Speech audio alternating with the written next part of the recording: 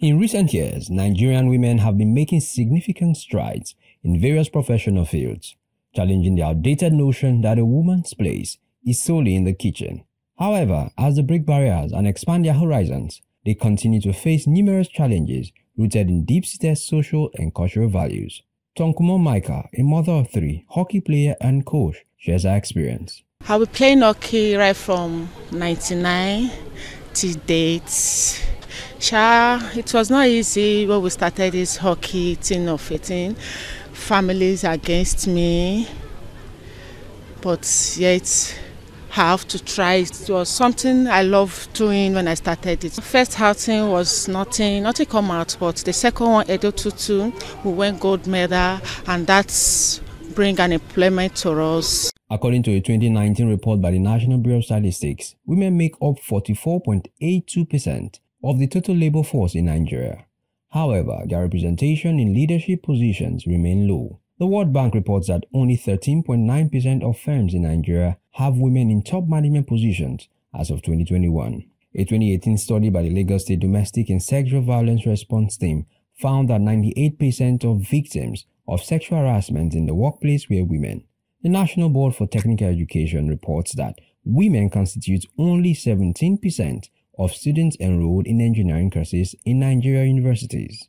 Research by the International Labour Organization indicates that Nigerian women spend an average of 4 hours and 13 minutes per day on unpaid care work, compared to 37 minutes for men and according to the Global Gender Gap Report 2021 by the World Economic Forum, Nigeria ranks 139th out of 156 countries in terms of wage equality for similar work. A significant hurdle that continues to plague women in their careers is the gender pay gap. In Nigeria, women earn 23% less than the male counterparts across various sectors, according to a 2022 report by the World Economic Forum.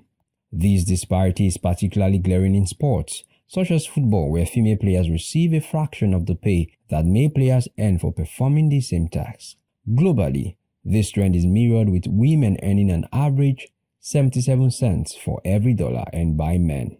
Ngozi Okonjo-Iweala, the first woman and first African to serve as Director General of World Trade Organization, often credits her family's support for her ability to balance her high-profile career with personal life. Sleep late and you wake up very early.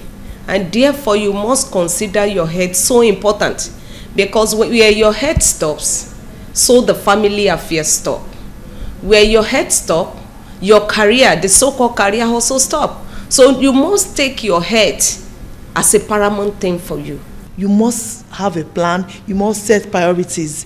Without that you will not it will be it will be it will be daunting. To address these issues career women are advocating for more female-friendly policies in the workplace. The nigerian government has taken some steps in this direction such as the national gender policy of 2016 the Violence Against Persons Prohibition Act 2015. However, implementation and enforcement remain inconsistent. As Nigeria strives to achieve the United Nations Sustainable Development Goal 5 on gender equality, it is clear that more concerted efforts are needed from both the public and private sectors to create an enabling environment for women to thrive in their chosen careers. Precious Davido Gaga